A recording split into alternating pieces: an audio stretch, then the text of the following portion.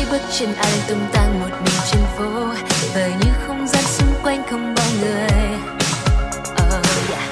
có thể tiếng hát ai như đưa ta hòa vào mây gió để nhịp đôi chân kia dần lối đến khắp nơi Kính chào ban giám khảo cuộc thi sáng tạo video clip về sách chủ đề khơi nguồn tri thức cùng toàn thể quý thầy cô và các bạn học sinh. Em tên là Lê Gia Phúc Uyên, học sinh lớp 7-8 trường trung học cơ sở Hai Bà Trưng. Tiếng còi xe inh ỏi, tiếng rao hàng náo nhiệt, tất cả đã tạo nên sự khác biệt của chốn Sài Thành. Nhưng đâu đó, chính những thứ ấy đã khiến cho Sài Thành trở nên vội vã hơn, xô bồ hơn. Thành phố chẳng có giây phút nào là chậm nghỉ, nó cứ chạy như thế, chạy mãi. Và rồi con người ta cũng phải chạy để đuổi theo. Người lớn thì phải chạy theo những chỉ tiêu, chạy theo những bằng cấp, chạy theo những tiêu chuẩn xã hội còn trẻ con chẳng khác gì những đứa trẻ cứ chạy theo những con điểm thật cao chạy để cho bằng con nhà người ta chạy để bố mẹ tự hào đã bao lần bạn vì cái chạy đó mà áp lực đến bật khóc hỏi nhỏ bạn nhé mỗi khi mà bạn áp lực thì bạn thường làm gì để uyên kể câu chuyện của chính mình cho bạn nghe nhé. Uyên thích mua những quyển sách cũ đã qua sử dụng, màu đã ố vàng. Các bạn biết tại sao không? Thời gian trôi qua thì cuốn sách cũ đã từng bị làm rơi, làm rớt, đã bị bán qua mua lại và nó đã thay màu rồi. Nhưng mà những cái giá trị, những cái xúc cảm của nó vẫn giữ y nguyên như là thuở ban đầu. Và chúng ta cũng vậy. Ai rồi cũng phải trải qua vô vàng những khó khăn, những thử thách.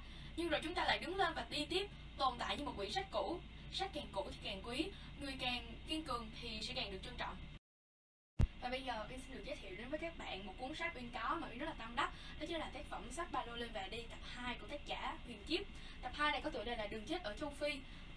Mình đã mua cuốn sách này ở bay, ở đây có bán sách cũ trong mùa đại dịch vừa qua. Bay dùng tiền lời để ủng hộ cho quỹ vaccine của chính phủ. Và như thế thì mình vừa có thêm được kiến thức mới và vừa giúp Việt Nam đẩy lùi được dịch bệnh Covid 19 nữa.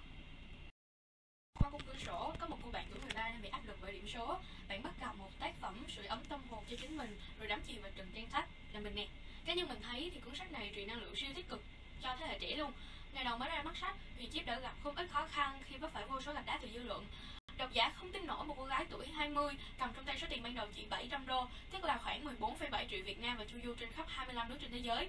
Tuy vậy thì mọi việc dần lắng xuống và đến nay, sách ba lô lên và đi vẫn luôn là cuốn sách truyền năng lượng cho thế hệ trẻ. Những dòng đầu tiên, mình đã ấn tượng trước sự bạo dạn của cô gái tuổi đôi mươi. Chị Huyền chẳng biết tí ti gì về vùng đất mà chị sắp đặt chân tới, bị anh bạn mắng cho một trận. Chị trả lời là không biết gì về châu Phi thì phải đến để mà biết chứ có lẽ nhiều người nghĩ chị không nên đi du lịch một thân một mình như thế vì có rất là nhiều khó khăn đang chờ trước mắt nhưng mà các bạn có nghĩ giống mình không tuổi trẻ không liều sao diều có thể bay cao đối mặt với cái đói cái nghèo cái rét cái sự du lịch hóa của châu phi với nỗi cô đơn tột cùng khi bị cướp hết tiền bạc, khi bị người ta khăng khăng bảo mình là người trung quốc, trong khi đó chỉ là người việt nam mà. Tất cả đều đáng sợ, nhưng không có gì là đánh gục được cô gái mang tên khánh huyền cả. Ở đâu cũng có người tốt, người xấu, và chị đã may mắn gặp được những người giúp đỡ chị rất là nhiều.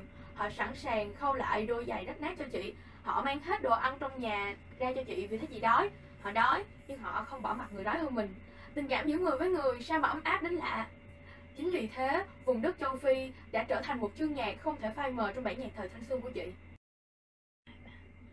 Chắc hẳn chị sẽ không bao giờ chứng kiến được những bộ tộc kỳ dị những chiếc môi bị cắt, những tấm lưng rớm máu với chút đáng sợ để chị không dám bước ra khỏi vòng tay bảo bọc của bố mẹ nơi quê nhà.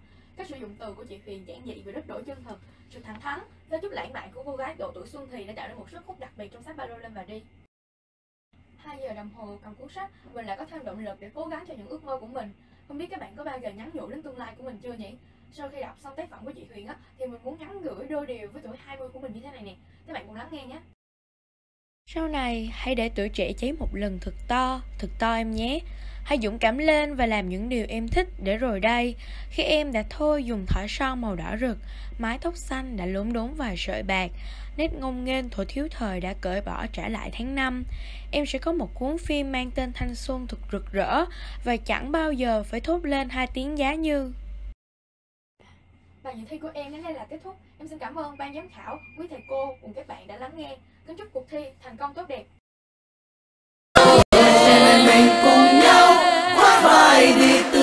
Tới đêm. Hát lên như chưa từng được hát. Vui này thôi, ai biết mai sau.